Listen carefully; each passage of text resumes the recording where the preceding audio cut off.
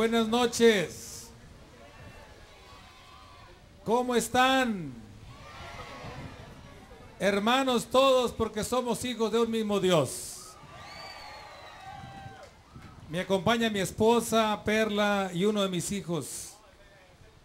Y realmente pues nos llena de satisfacción, de energía, de vitalidad hoy estar con todos ustedes.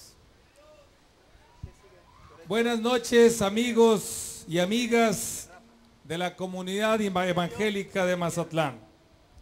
Agradezco a la Alianza de Pastores la invitación que me hiciera para compartir con todos ustedes estos momentos tan significativos, tan llenos de gozo y espiritualidad. El escenario que enmarca esta reunión no podía ser mejor la naturaleza exquisita con que la providencia dotó a nuestro puerto, la naturaleza que nos habla de ese gran poder creador, ordenador y sustentador de todas las cosas. Mi, presencia hoy aquí, más que un acto de una autoridad, atendiendo a un grupo de ciudadanos, es como amigo de todos ustedes. Sí, como un amigo que como ustedes comparte una fe en Dios, que busca una transformación de vida personal y cultiva una esperanza. Y en esta identificación mutua, pedir a Dios por mejores tiempos para Mazatlán, mejores tiempos para Sinaloa, mejores tiempos para México y mejores tiempos para la humanidad. Pedir a Dios mejores tiempos para cada familia y para cada uno de todos ustedes, de todos nosotros. Todos estos retos nos desafían a unir esfuerzos para vencer cada uno de ellos. Ustedes son parte de los retos mismos, pero también son parte vital de la solución. Sus propuestas en cada una de estas áreas serán bienvenidas su participación en la solución de cada uno de estos retos será grandemente apreciado. Es común que cuando una autoridad se reúne con un grupo de ciudadanos, estos tienen una larga lista de peticiones para las autoridades. De esas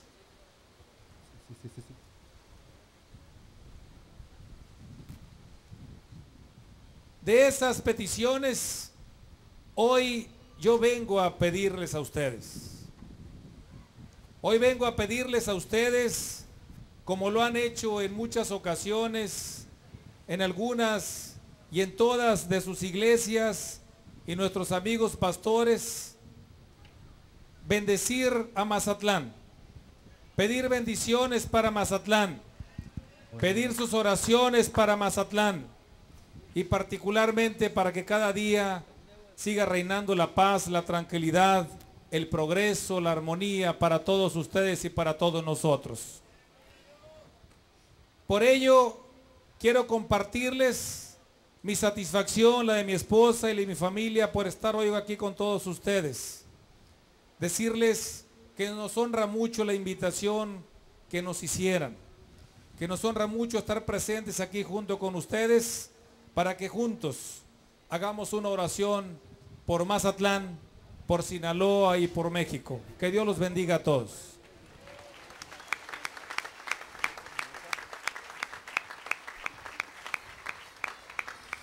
Bueno, quiero darle gracias a Dios por la vida del presidente municipal. Yo quiero pedirles, la Biblia nos dice que oremos por nuestras autoridades.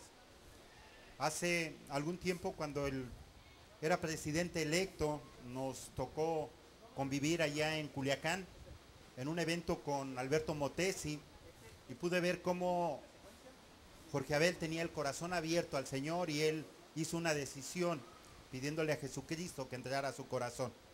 Y bueno, normalmente se tiene la mala costumbre de hablar mal de las autoridades, pero nosotros estamos para bendecir a nuestras autoridades. Y en la medida que nosotros bendigamos a nuestras autoridades, vamos a tener prosperidad.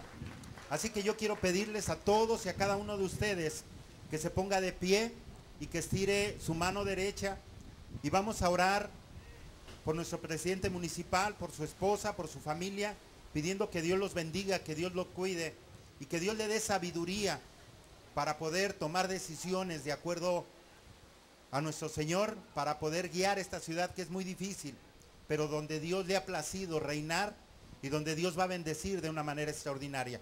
Así que si quieren acompañarme, no nada más estiren sus manos, sino confiesen con su boca y empiecen a bendecir a nuestras autoridades. Señor, queremos darte gracias por nuestras autoridades. Señor, queremos bendecir a nuestro presidente, así como lo hacemos todos los días. Y Señor, declaramos en el nombre de Jesús que tú le das un espíritu de sabiduría, un espíritu de ciencia, un espíritu de revelación en tu palabra, que tú abres sus ojos y que tú le hablas a su corazón para que él tome las decisiones adecuadas para que esta ciudad sea mejor. Queremos bendecirlo a él, bendecir a su esposa, bendecir a su familia y declaramos, Señor, que todo lo que él haga va a prosperar. Y te damos gracias por tener un amigo en él, en el nombre de Jesús. Y el pueblo de Dios dice, vamos a ver un video, un video de la transformación, de lo que Dios hace en una persona. Y así como Dios hace la transformación en una persona, lo vamos a ver en esta ciudad. Que Dios les bendiga.